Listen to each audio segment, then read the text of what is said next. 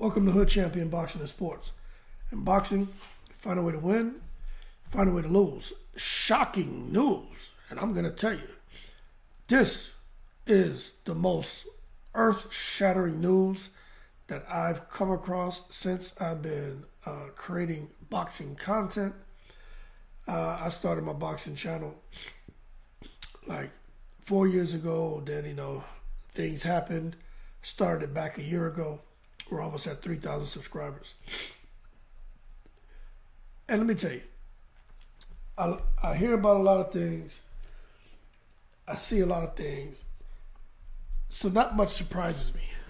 But I'm going to tell you right now, with Deontay Wilder, I never would have thought he would have attached himself with a promoter out of Saudi Arabia.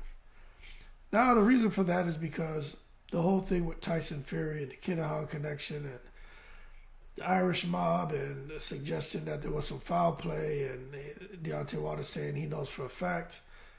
And people have told him that they know he was cheated in the Fury fights. Uh, I, I just would never think he would have signed with a Saudi Arabian promoter.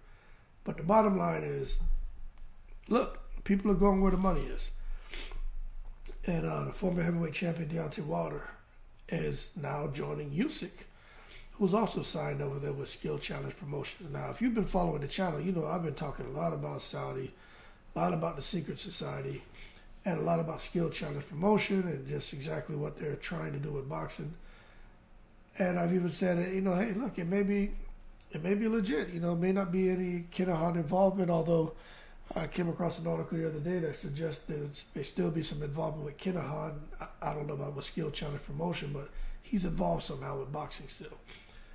But we take it with a grain of salt. We're just having a conversation. We don't know if any of that to be true. But the bottom line is, is, is Wilder, he's been out the ring for a long time. He came back. Somebody did the Helenius Wilder's coming up in, in a few months, man. It'll be a year out the ring. But but let me tell you, remember he said, man, with Al Haymon at PBC, but he's an open agent, and uh, it's interesting to me, man, that he's gonna be joining Skill Challenge Promotion, uh, Prince Khalid, Amir Abdullah, and even Derek Chisora, who's heavily involved with Skill Challenge Promotion. Promotion. Uh, Derek Chisora actually has a position where he's involved with trying to, you know, uh, bring fights and other sports uh, to and huge events to the kingdom. So there's a lot going on with Skill Challenge promo- Promoter. But let me tell you something. With Deontay Wilder signing over there, that that that's huge, man. That almost that almost guarantees that a guy like Wilder fighting in Saudi, I mean, it, it almost guarantees that he and Usyk will get a fight. And I think that is very interesting because if, if Usyk and Fury for some reason don't fight, you know, hey, a lot of these promoters, what do they do? they fight their guys against each other. Let me tell you something, dude. The reality of a Wilder Usyk fight is is growing. And probably seems to be more realistic than Wilder fighting Dillian Whyte, Wilder fighting Tyson Fury again, Wilder fighting AJ. So there's so so many different things going on with the heavyweight division. But I'm telling you right now, the, the business of boxing, this money is making matchmaking difficult. And when you narrow it down, Deontay Wilder like a lot of boxers right now, they just want to get paid.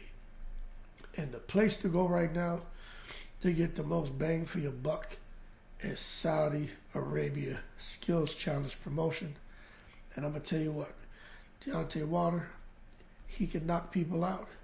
People love knockouts. He go out there to the Saudi Arabia. It doesn't matter who he fights.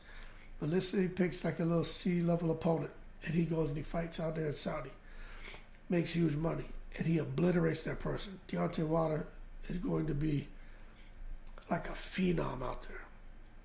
But long story short, Deontay Wilder doing what's best for him. We're going to see people.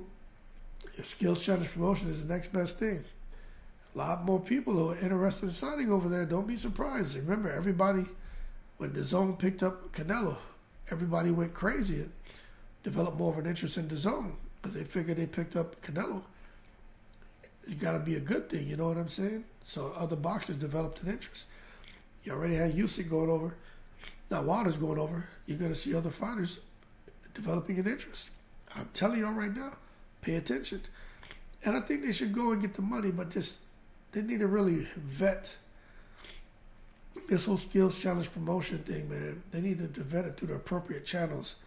Because, man, I'm telling you right now, when it comes to golf and the kingdom getting involved with golf and hosting, hosting events over there in the kingdom, man, the PGA trying to hear that. They, they, they are sitting there, man, and giving their players a hard time.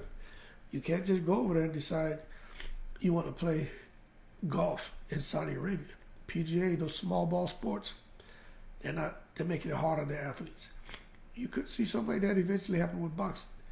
I don't know. I'm just telling you right now, Deontay Wilder signed with a Saudi Arabian promoter. It's an open agent. He's doing what's best for him in his career. So let's see how it plays out. That being said, y'all keep cool. Shout out to the veterans, all seven continents. Yo, I'm in the breeze.